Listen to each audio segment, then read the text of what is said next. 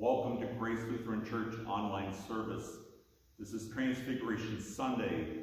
We have a wonderful art piece from floor to ceiling to kind of remind us of the mountaintop experiences that we all have in our lives. We experience a mountaintop experience today with Jesus coming with his disciples and teaching and helping them know that the Son of God is there because God's very voice was shared. This is my Son. Wonderful example for us to know of those mountaintop experiences. And we see another one today as we experience and celebrate Lydia and Aaliyah's baptism. We are so happy that they are able to be a part of that.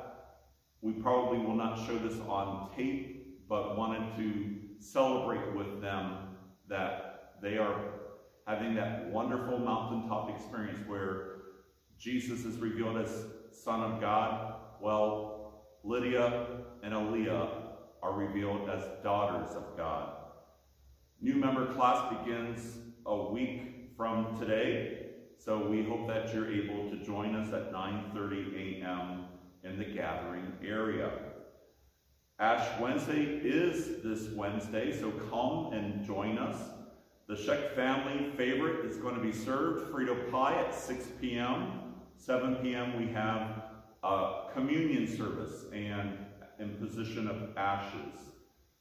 If you're interested in processing the cross, we invite you to approach a worship committee member. Details of those people are in your worship folder and online. Easter bulb flowers are available for $10 each. Look for the order forms in the gathering area, or you can get into the Grace Gram for this past March or for March. Um, it's actually not past, but it's out, and you can enjoy finding that. We're looking at a pasty sale. We've already taken orders. So far, we have over 44 that have been ordered. Um, I know 44, but I also have been told, I'm ordering mine, I'm ordering mine, I just haven't done it yet. Well, remember to do that so uh, you don't get shut out. Um, it is quite at a first come, first serve placement yet, but um, we're trying to make sure that we have enough hands and availability. Don't know how the tubing went. Uh, again, hasn't happened on taping, but by Sunday we'll know and we'll be able to share a little bit of that on a Sunday morning. We hope that you're able to enjoy this day. Uh, final announcement is Newsies Musical. We need to sign up by next Sunday, a week from today, and we hope that you're able to come and join us. May we enjoy our time of worship.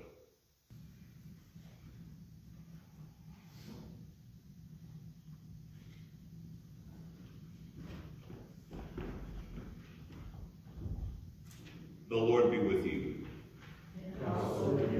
It is good for us to know God's grace and love. Each day we see something new. Each day we have a new beginning. The youth went tubing yesterday and most of them, or most of the adults and kids had never done so, which was amazing. Um, and so it was a new experience. Today we see that the disciples experienced a new experience of having Jesus be revealed as the Son of God to them.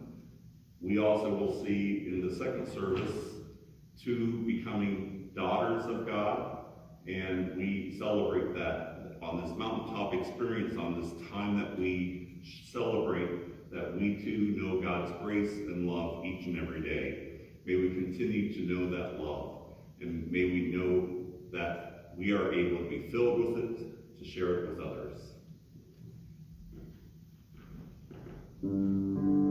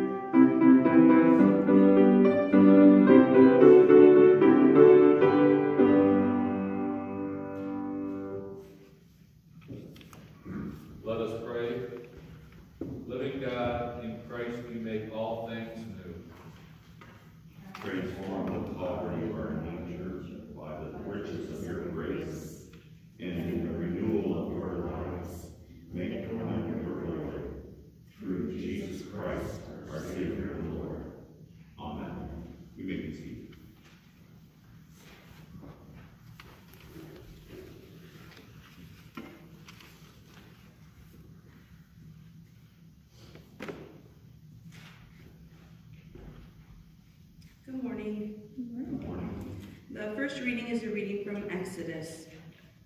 Moses came down from Mount Sinai as he came down from the mountain with the two tablets of the covenant in his hand. Moses did not know that the skin of his face shone because he had been talking with God. When Aaron and all the Israelites saw Moses, the skin of his face was shining, and they were afraid to come near him. But Moses called to them, and Aaron and, and Aaron and all the leaders of the congregation returned to him. And Moses spoke with them. Afterward all the Israelites came near, and he gave them in commandment all that the Lord had spoken with him on Mount Sinai. When Moses had finished speaking with them, he put a veil on his face. But whenever Moses went in before the Lord to speak with him, he would take the veil off until he came out. And when he came out and told the Israelites what he had been commanded, the Israelites would see the face of Moses, that the skin of his face was shining, and Moses would put the veil on his face again until he went in to speak with him. The word of the Lord. Thanks be to God. Psalm 99. The Lord is king. Let the people tremble. The Lord is enthroned upon the cherubim. Let the earth shake. The Lord, great in Zion, is high above all peoples. Let them confess God's name, which is great and awesome. God is the Holy One. Almighty King, Lover of justice, you have established equity. You have executed justice and righteousness to Jacob. Proclaim the greatness of the Lord and fall down before God's footstool. God is the Holy One. Moses and Aaron among your priests, and Samuel among those who call upon your name. O Lord, they call upon you, and you answer them. You spoke to them out of a pillar of cloud. They kept your testimonies and the decree that you gave them. O Lord our God, you answered them indeed. You are a God who created them, yet punish them for their evil deeds. Proclaim the greatness of the Lord holy hill. For the Lord our God is the Holy One.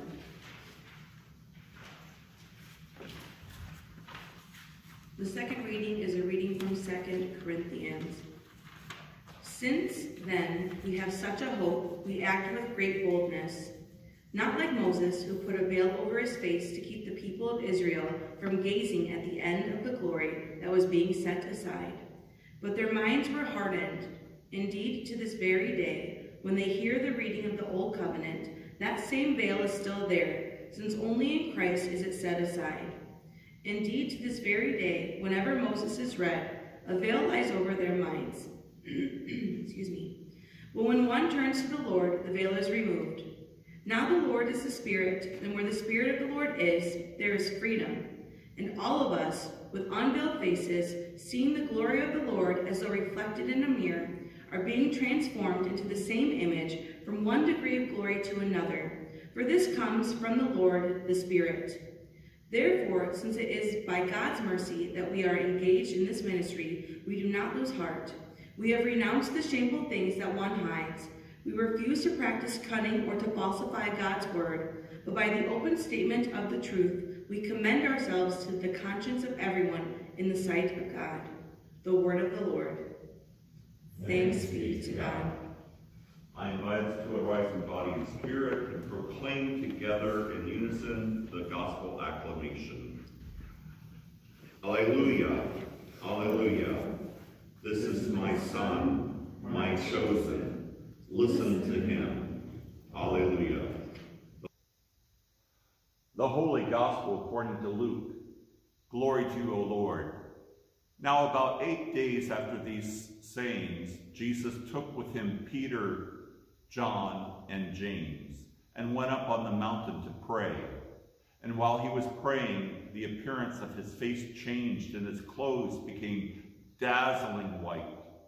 Suddenly they saw two men, Moses and Elijah, talking to him. They appeared in glory and were speaking of his departure, which was about to be accomplished at Jerusalem. Now Peter and his companions were weighed down with sleep, but since they had stayed awake, they saw his glory and the two men who stood with him. Just as they were leaving, Peter said to Jesus, Master, it is good for us to be here. Let us make three dwellings, one for you, one for Moses, and one for Elijah. Not knowing what he said. While he was saying this, a cloud came and overshadowed them, and they were terrified as they entered the cloud. Then from the cloud came a voice that said, This is my son, my chosen. Listen to him. When the voice had spoken, Jesus was found alone, and they kept silent. And in those days told no one any of the things that they had seen. The Gospel of the Lord. Praise to you, O Christ. My friends, it's been a wonderful Epiphany journey with you on this last day after Epiphany, Transfiguration Sunday. We will no longer see the stars. And it's been wonderful to share with you kind of the joy of having that. It, it's that voice that keeps coming into us and revealing things to us. And then today we hear God's voice. Well, one of the voices that has been playing in my head is ever since the star ended up here at my level, I've wanted to kind of hit my head on the star. And it's just been kind of fun to think about. And I hope that we can have that joy, to have that inner voice of God calling us into being one with another, calling us into life and sharing the joy that Jesus brings. Yes, there are very hard times. And what is pleasurable, though, is that during those hard times, we have the love, support, and care we so desperately need. It is a blessing to be part of the Christian family. May we know this love forever. Let us pray. Dear God, help us always to hear your voice and to know that we too with Jesus share the title Child of God. Amen. See you next week. Thanks for coming. Grace, mercy, peace be to you from our transfigured Lord and Savior Jesus Christ. Amen.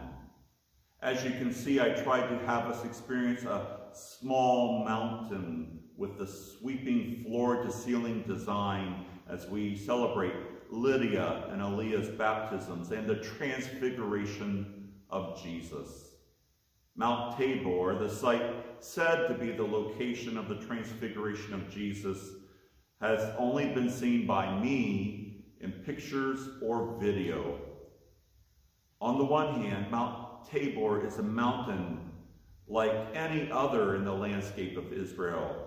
You know, it's a typical diverse topography marked by hills and valleys, fertile plains, and arid deserts.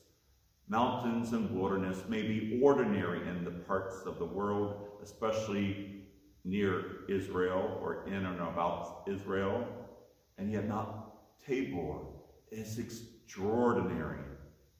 I remember going to Glacier National Park and walking on a few mountains there. 47 mountains are present, and I remember the beauty and awe, magnificent, regal, snow-capped, awesome.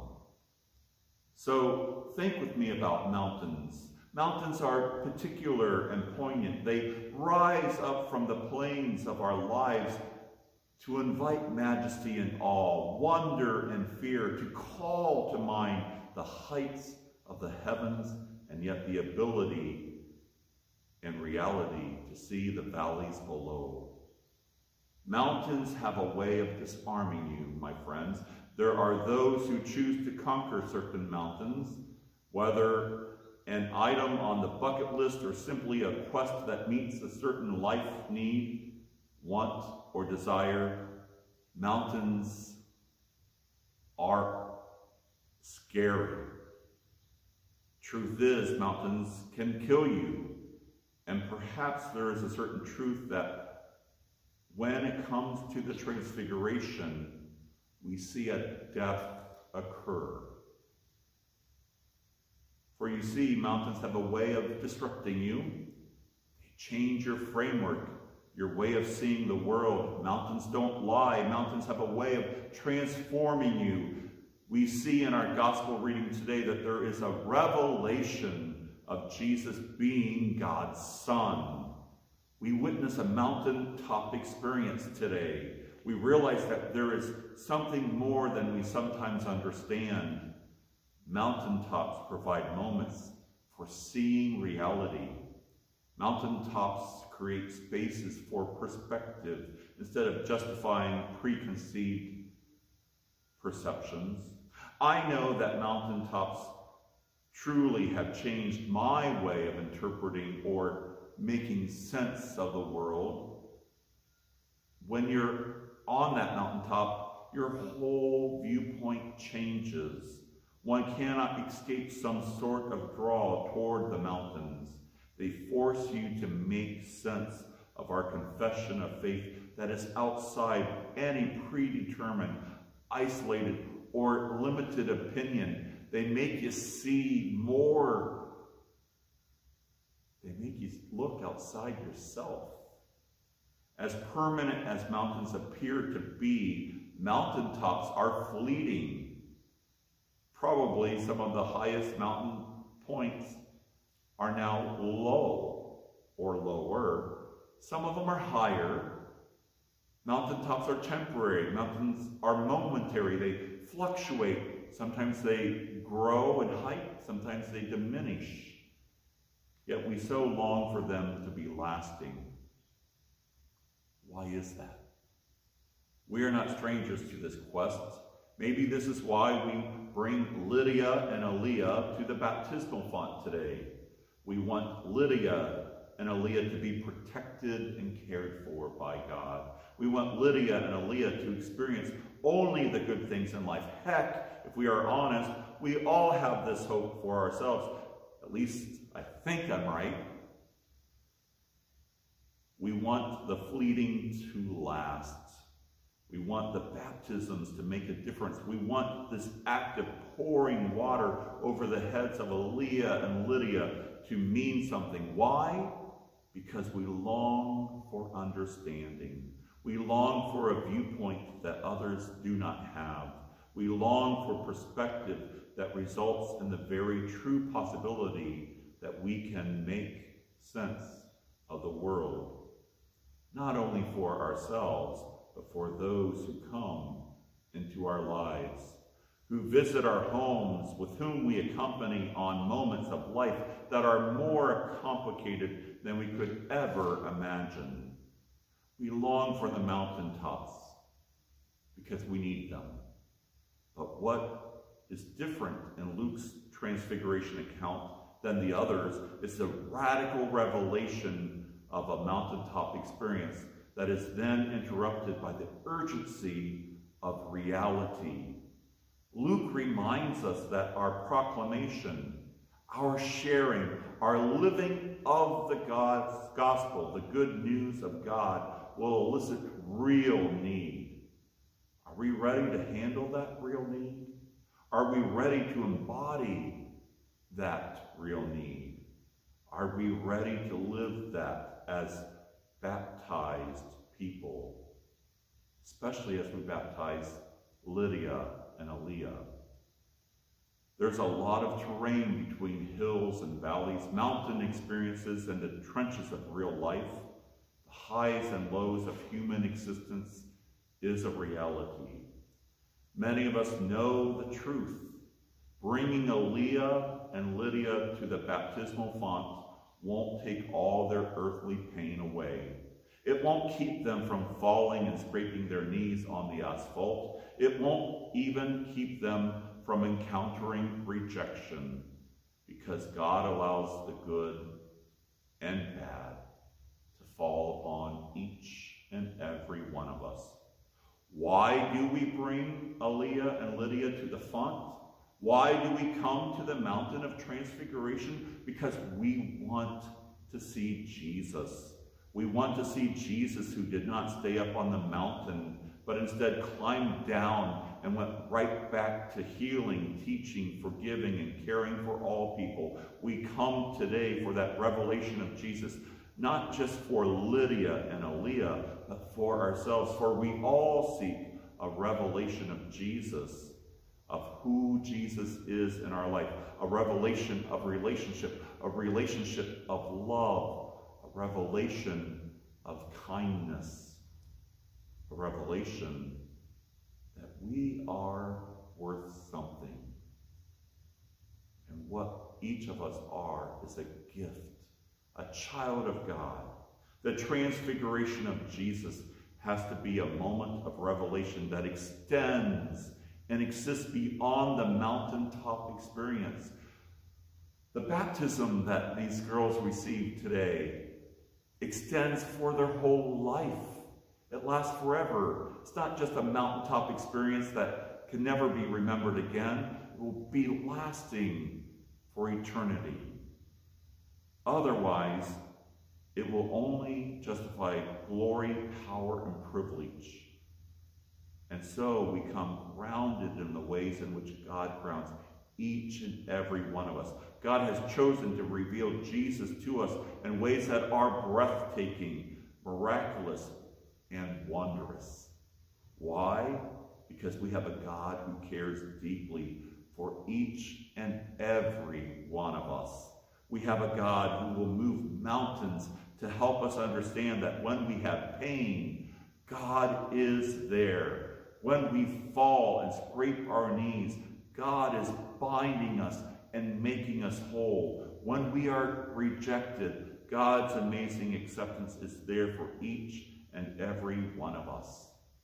We don't need to have it together. We don't have to have everything, all our ducks in a row. We don't have to look like we're perfect. We just simply need to allow God to pour lavish grace upon us, just as Lydia and Aaliyah have water poured on them today. Let us know this relationship, this grace of God. Let us exist and celebrate the love that we have, the revelation that we are all children of God. Yes, Jesus was revealed as the Son of God. This is my Son. But through Jesus' love and the Holy Spirit being poured upon us, all of us are accepted into that kingdom. Praise be to Jesus. Amen.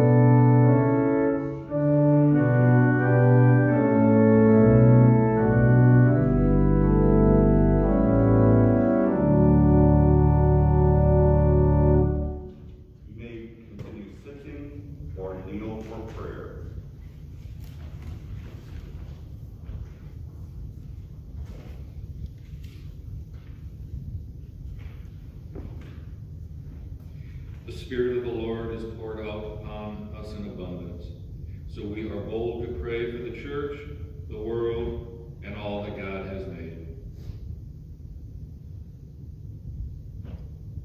Transform us by your greatness, O God.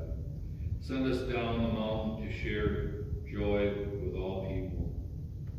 Make us agents of change, confident that your hope will vanquish despair and your goodness will conquer evil. Empower our church leaders to speak this truth, especially Bishops Elizabeth and Craig, Assistants David and Roseanne, our Synod companion Trinity Lutheran Church, Manton, Good Shepherd Lutheran Church, Middleville, Minister of Music Cindy, and Pastor Ken. Radiant God, Let your light shine upon us. The mountains and valleys sing your praise. Dazzle us with your presence in every landscape. Bluffs built by ancient glaciers, canyons carved by flowing rivers, flat horizons with uninterrupted views, and sands shaped by ocean tides. Radiant God, Let your light shine upon us. you love justice and establish equity. Strengthen leaders of local governments, community nonprofits, and grassroots campaigns. Bless them with gifts of integrity, creativity, and sound conscience. Build up safe and joyful communities where all people may thrive. Be with those who serve in the military, especially Parker Stansel, Cody and Maria Crawford, Brady and Cynthia Russell, Joel Taggart, and Julia Hare. Radiant God, Let your light shine upon us. Heal those who are in distress, especially Doris Allarding, Amber Andrews, Vicky Argo, Jerry and Veronica Barson, Ron Bush, Sherry Clements, Ann Cusack, Bob and Bonnie Hare, Mike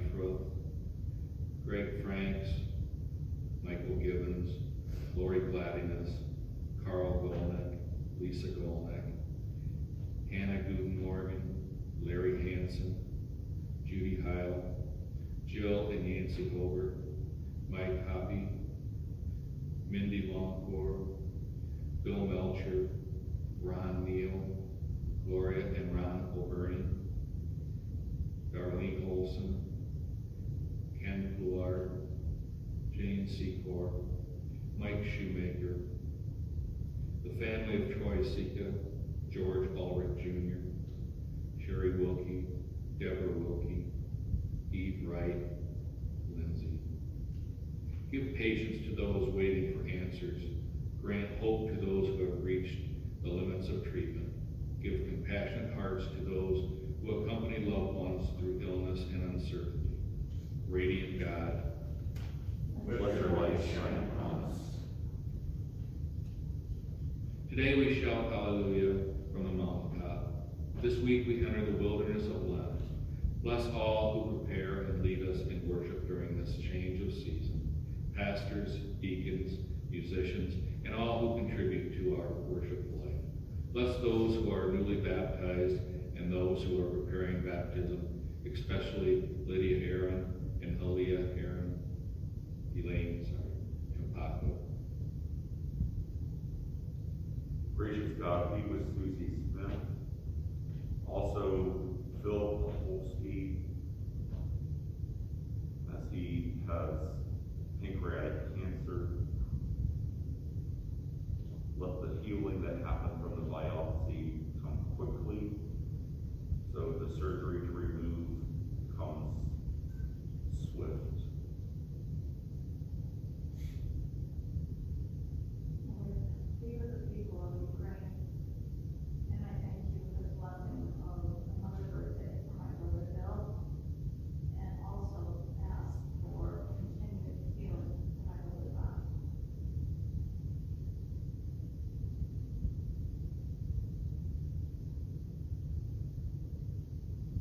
Blessed are they who listen to Christ's voice in this life and now rest with him. Transform us from glory into glory and give us your peace, so that we, we do not lose heart. Radiant God, Let your light shine upon us, since we have such great hope in your promises, O God.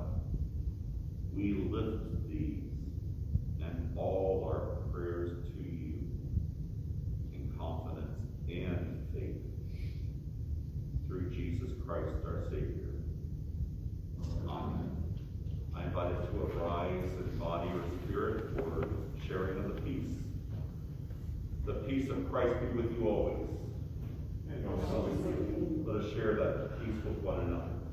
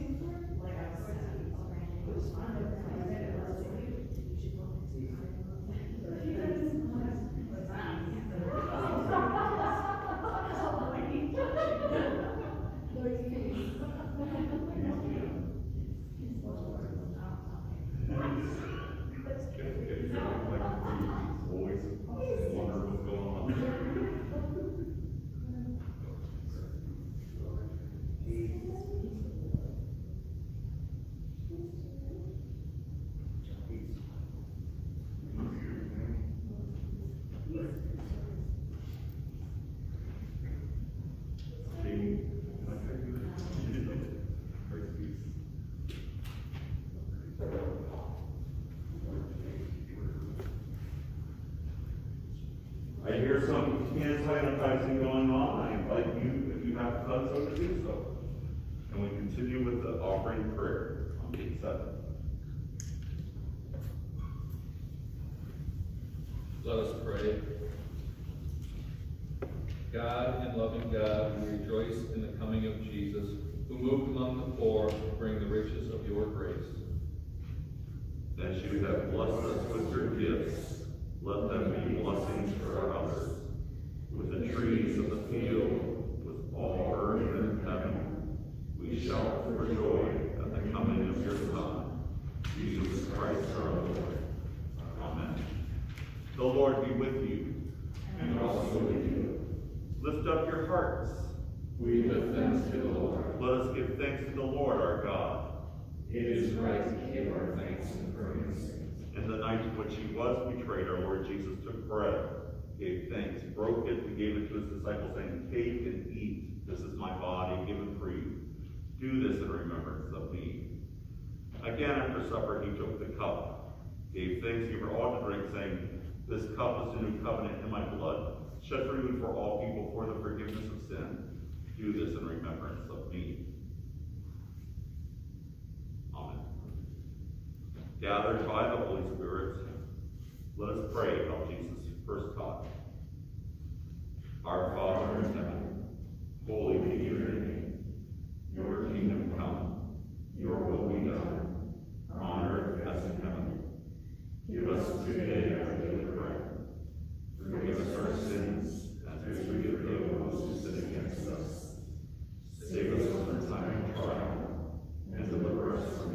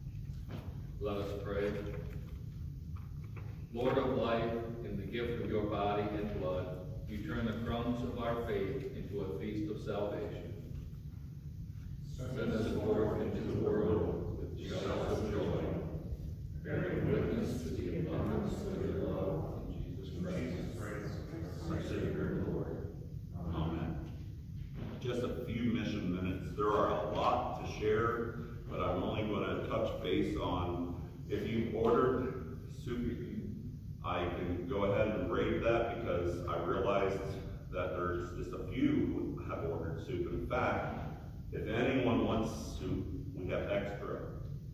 So I'll just make sure I mark down how many I give away.